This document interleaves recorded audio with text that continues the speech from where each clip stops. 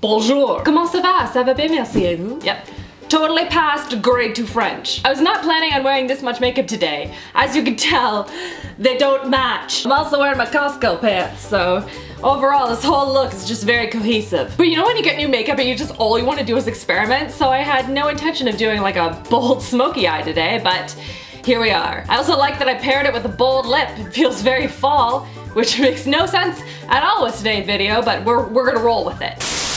Everyone! I'm here today to share with you guys some new Pinterest hacks tested. I am so excited. These are one of my most requested types of videos to do and I love doing them. They're so much fun. And since we are going into the whole spring season, I don't know if you guys are like me, but I'm like all into the whole like decluttering and getting rid of stuff and cleaning and organizing, except for my makeup. My makeup is all in boxes. It like hoarded away in my closet. But everything else, we be cleaning. And so I thought today I would test out a couple of different hacks that I had seen online all around cleaning your home. So I've tested a whole bunch of them out. I wanted to share with you guys my results, which ones were great, which ones weren't so great, all that kind of stuff. If you do like this video, give it a thumbs up so I know, and don't forget to subscribe if you haven't already for new videos every Tuesday and Thursday. If you have any requests for new videos, please let me know. And without further ado, let's get into this. The first hack I wanted to share with you guys is all around um, vacuuming and, and making your house smell nice whilst you're vacuuming. So basically what you're supposed to do is put out like a pile of cinnamon and then vacuum it all up, which seems kind of wasteful to me, but stay with me here. And then you go about and vacuum the rest of your house as you normally would and apparently the cinnamon heats up inside of the vacuum and makes your whole house smell like cinnamon, but like really nice and sort of that nice air freshener kind of effect. So that sounded really, really good, except I didn't want to waste three tablespoons of cinnamon doing this hack because I'm like, what if it doesn't work at all? And then I just wasted three tablespoons of cinnamon. Three tablespoons of cinnamon is a lot more cinnamon than you think it is. How many times can I say cinnamon in the span of 20 seconds? So I vacuumed it all up and then I continued on and vacuumed my carpet and I didn't smell anything. I smelled like the faintest hint of cinnamon, but like not a lot. And so I'm like, well, I guess I have to use more cinnamon. So I put more cinnamon on the floor, vacuumed up more of it, and then went about and vacuumed the rest of my carpet. And I tried to spend some time like really vacuuming to try and like get the you know, vacuum to like heat up. So I was vacuuming around, I kind of smelled it, but I was like, I don't know if this is a placebo effect because I know that there's cinnamon in the vacuum and that's making me smell cinnamon. So I went upstairs and I vacuumed up Julia's room and I told my dad, it was like watching the kids to go upstairs and smell Julia's room and tell me if it smelled like cinnamon. And so he came back down, he's like, yeah, I smell a little bit of cinnamon, like, like a tiny faint amount, but not a ton. Um, which I guess is kind of what you're looking for in an air freshener, but you should be able to smell something but overall, it just wasn't enough of a nice lasting cinnamon scent to justify wasting that much cinnamon. If you want your house to smell really nice and cinnamony, then I recommend putting some like orange peels and cinnamon with some water on the stove and letting it simmer smells amazing. You're probably gonna use a lot less cinnamon and your house is gonna smell amazing. But you still will have to vacuum. It's just you won't be vacuuming and making your house smell nice at the same time. The next one is all around tackling stains on white cutting boards. If you guys have these at home, you probably have similar stains to my own, unless you're like way ahead of the game, in which case kudos, because like I'm not. So these are the beautiful stains on my cutting board and the woman who did this hack said all you need is a bunch of lemon. You can use lemon, you can use lemon essential oils, whatever you have, and all you need to do is just rub a whole bunch of lemon with a tiny bit of water onto like the um, aggressive, aggressive, abrasive? That's the word I'm looking for. I guess it is kind of aggressive. You like rub that onto the cutting board and then you put it out in the sun for like an overnight kind of a period and you let it dry down and then you rinse it off and apparently all the stains are gone. So I did that and nothing happened. So then since I was squeezing a whole bunch of lemon to make hot lemon water anyway, I used the rest of the lemon and lemon juice that was in the actual lemon and then I rubbed it over the entire cutting board again and then let it out, like sit out to dry or whatever. So I went down there this morning, nothing. Still covered in stains, which is super annoying. So um, maybe it's different if it's like specifically lemon essential oil. I didn't have any of that on hand, but she did say that you could use lemon and it would make a difference.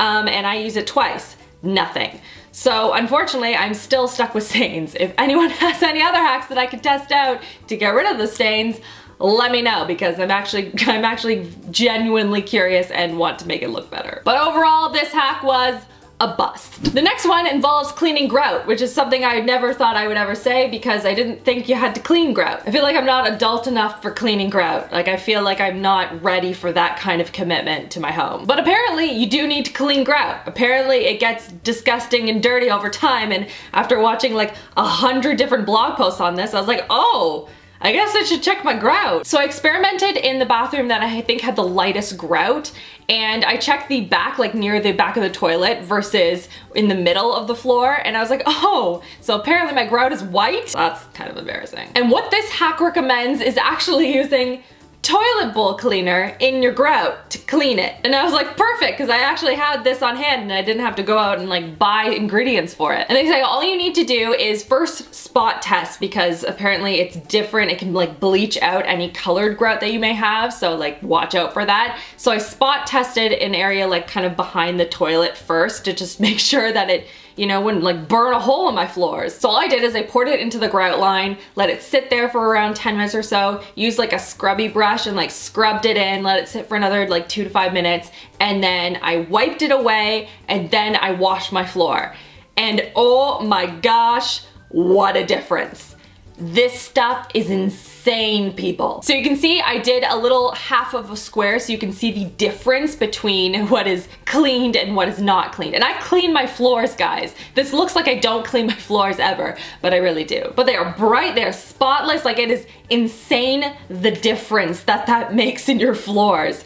Like, whoa, Nelly, I was not expecting that. This hack was a definite win for me, but please, if you are going to test this out for yourself, make sure you are A, wearing rubber gloves, because this stuff is toxic. Two, you clean your floors really, really well, probably a couple of times to get rid of all the bleach off your floors, especially if you have pets or little babies crawling around. You wanna make sure your floors are like completely rid of the bleach or like toilet bowl cleaner in general afterwards. So check for that and also do a spot test in a small area first just to make sure that you're not going to um, just bleach out any colored grout that you may have or it just takes to your particular type of grout well or the tiles or anything like that. You just wanna do like a little area first just to make sure.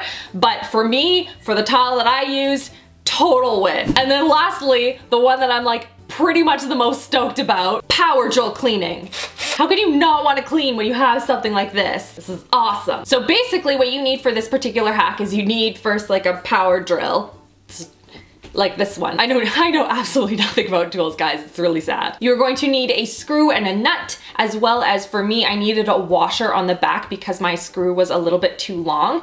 And then this particular brush head thing is one of those um, replaceable brushes that you can use for the, they're the palm brushes that fill up with soap. Um, you can get a whole bunch of replacement ones, but they have a hole in the center. I'll link a whole bunch of them below in case you guys are interested in purchasing them for yourself. You can buy them in like two packs and they fit perfectly into this. So I'm gonna show you the B-roll, how I put it all together, but basically you just wanna get the screw through the hole of the brush, you wanna screw the nut on, you wanna put the washer on the back, and then you're going to fit it into the drill and like get it all secured, whatever, and then voila!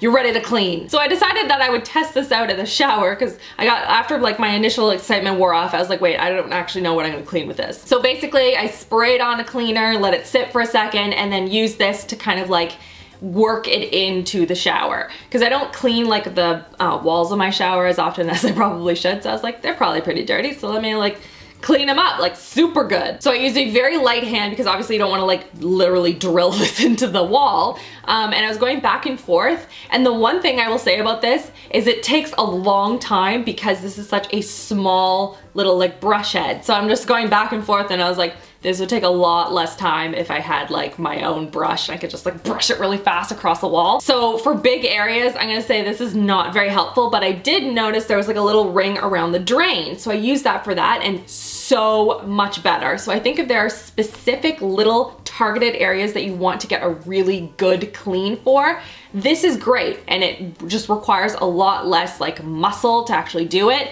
So if you have like a lot of bathrooms or a lot of areas you want to clean that are very targeted, um, then this would be a really good hack and something that will make a big difference.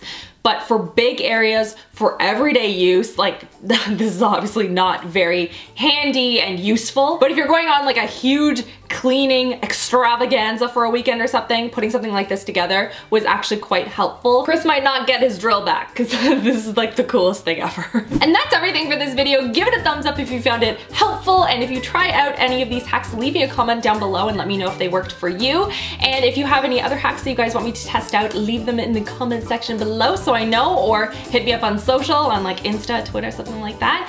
Um, and I hope you guys are having an amazing, amazing week so far. I will see you guys all in my next video. Love you girls. Mwah.